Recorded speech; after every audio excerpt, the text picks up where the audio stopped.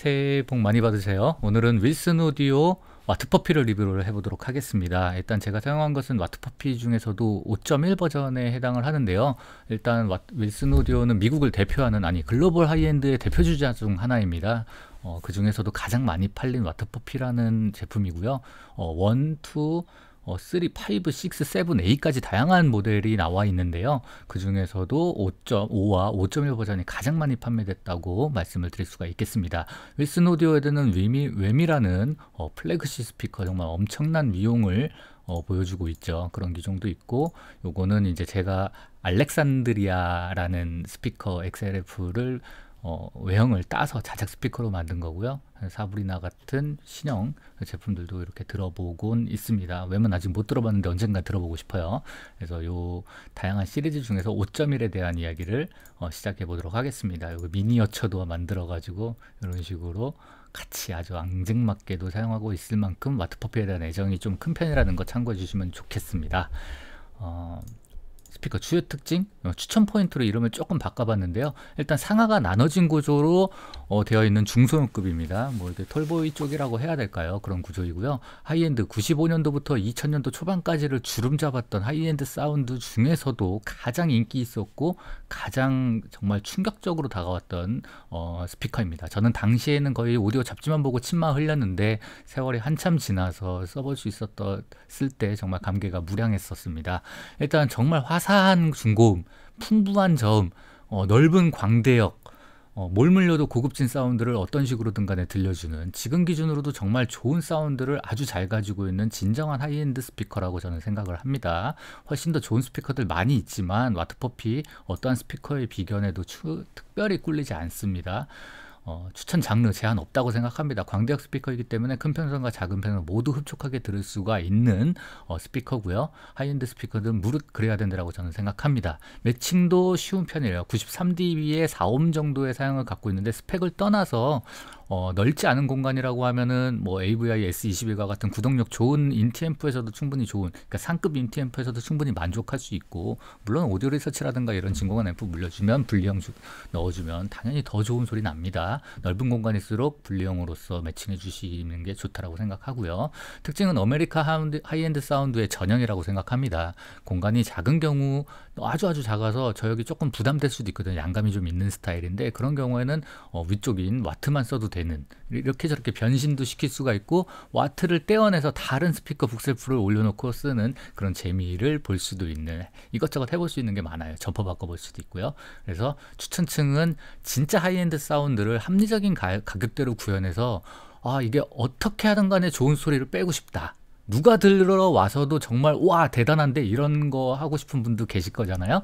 그런 분들에게는 추천드릴 수 있는 스피커라고 저는 생각합니다. 지인분들 한 8분, 9분 정도 오셔서 하이엔 어, 와트퍼피 소리 들어보셨는데 어, 다 좋다라고 하셨고 한 분만 좋은데 엄청 좋진 않았다는 분이 한 분 계셨습니다. 대부분의 분들은 아 정말 굉장히 좋은 스피커라는 거를 쉽게 느낄 수 있었다라고 말씀을 드릴 수 있을 것 같아요.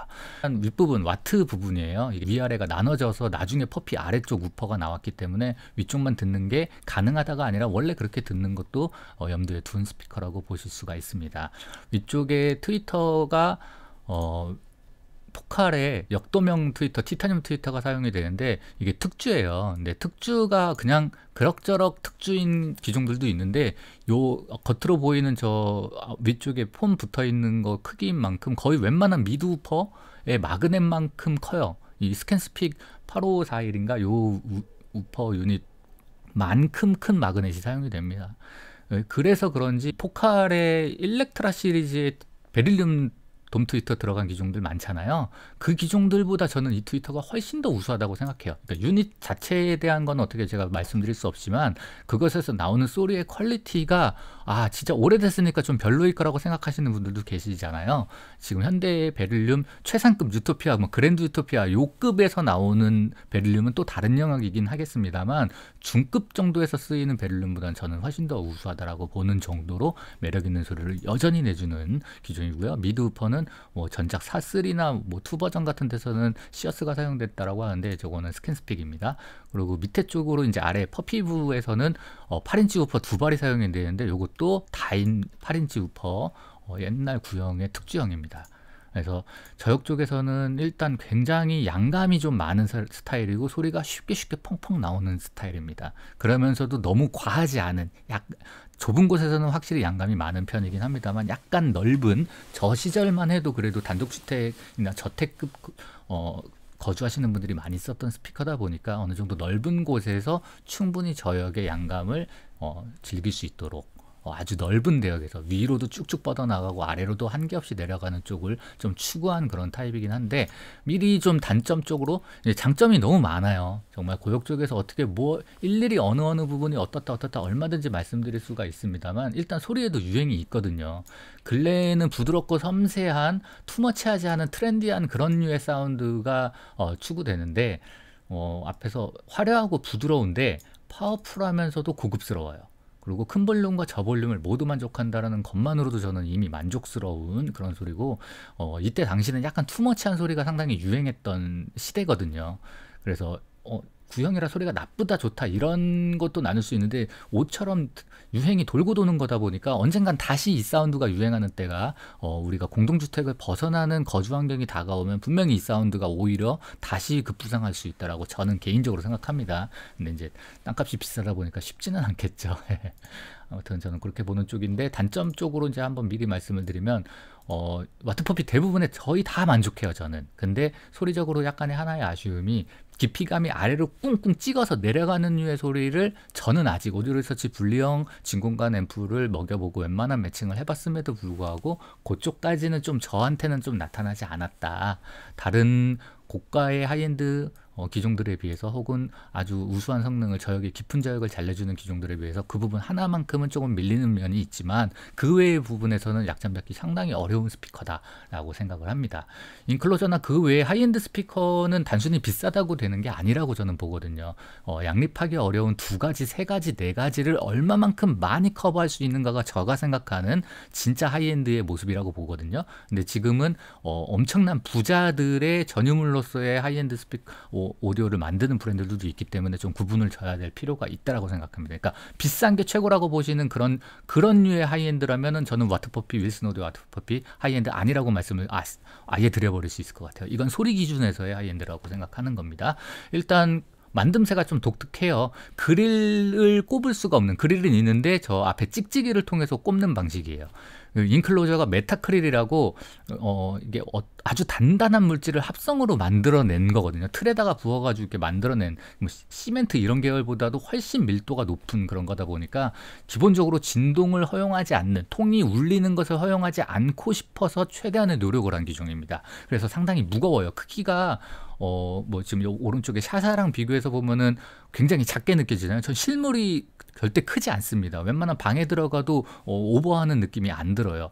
약간 넓은 거실 쪽에 들어가면 약간 작은 거 아니야? 이런 생각이 들 수 있을 만큼 약간 작은 크기, 크지는 않은 기종인데 이 아주 단단하고 무거운 메타크릴이라는 물질이 사용이 되었고 네트워크는 안에 부품들이 떨지 않게 하기 위해서 에폭시를 부었고 어, 그릴 구멍까지도 허용하지 않아서 찍찍이로 붙여야 되는 모양새가 좀 나지 않지만 최고의 소리를 위한 노력을 그때 당시 정말 최고로 해냈고 그것은 지금 기준으로 봐도 정말 대단하다라고 저는 생각하거든요.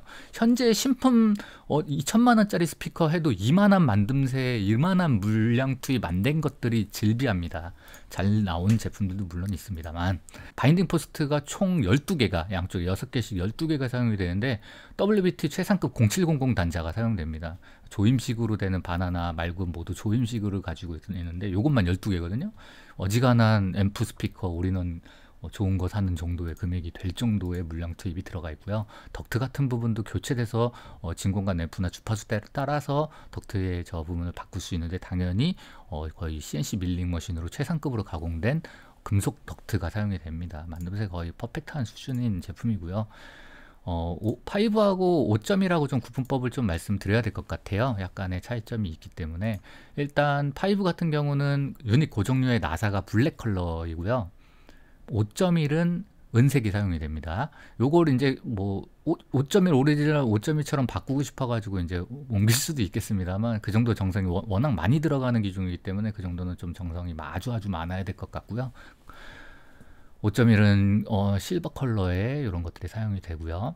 또 추가적인 부분이 5는 MIT 케이블이 들어가고요. 5.1은 트랜스페어런트 케이블이 들어갑니다. 그래서 5를 트랜스페어런트 케이블로만 바꿔서 어, 업그레이드 시킨 5.1이 있고 원래부터 어, 오리, 오리지널 5.1이라는 게 있는 거죠. 그래서 그 부분 구분, 보시면 될 것 같고요. 구입을 전제로 해서 좀 관심이 가신다는 분이 있다면 핵심적으로 보셔야 되는 게 우퍼 엣지랑 트위터 엣지 이 두 가지가 가장 큰 포인트라고 생각해요.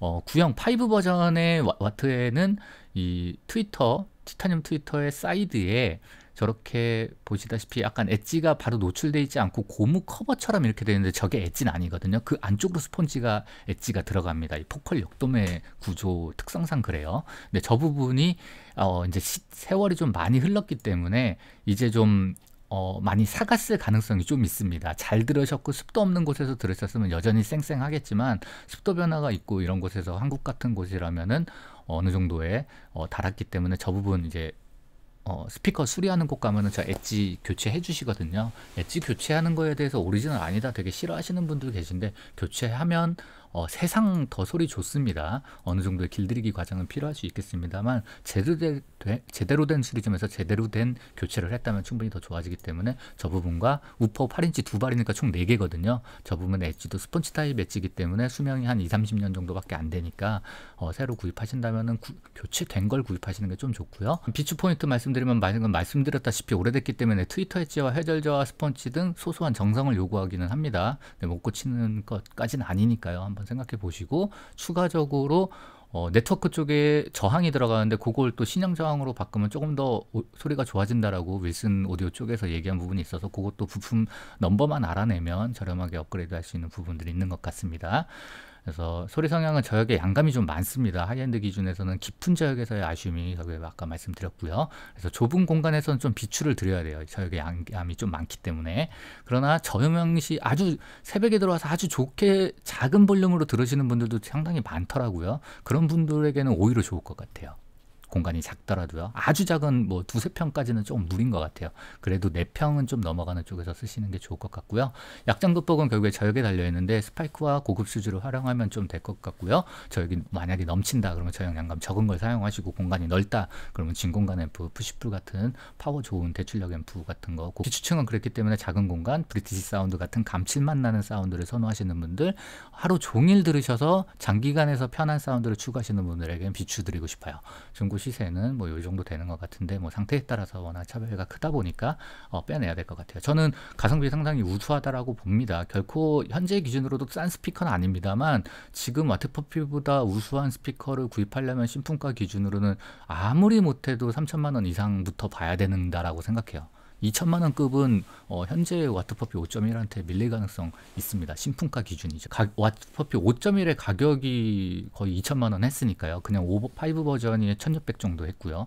그 시절에 90년도 중반, 2000년도까지 그 정도 금액이었으니까 현재 기준으로는 당연히 어, 5, 6천, 7천, 8천만 원짜리 기종들과 견어, 견줘야 되는데 이제 소리의 유행이라는 게 있다 보니까 그 부분은 따로따로 한번 봐야 될 것 같습니다.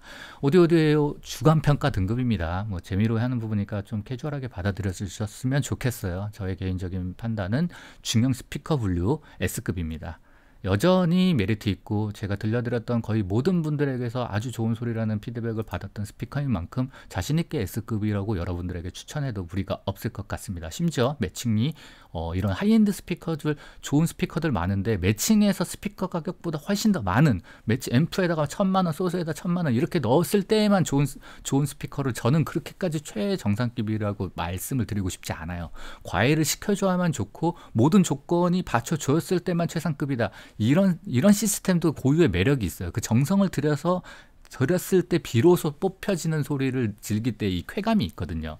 하지만 지금 유튜브에서 보편 다수의 분들에게 이야기할 때는 어, 이렇게 너무 하이엔드 스피커이지만 너무 까다롭지 않은 누구나 좋은 소리를 어렵지 않게 만들 수 있다는 거 공간만 조금만 확보만 되면 저역이 너무 안 나왔으면 하는 분만 아니라면 아주 최소한의 제약만 있다는 것이죠. 그렇기 때문에 저는 S급으로 꼽았고 어, 꼭 구입하시라는 말씀이 아니고 기회 될 때 한번 꼭 들어보셨으면 좋겠고 이러한 스피커는 현대의 스피커에 절대 뒤처지지 않는 오히려 앞서는 부분도 굉장히 많은 스피커라는 점을 한번 생각해 보시면 어, 좋을 것 같습니다.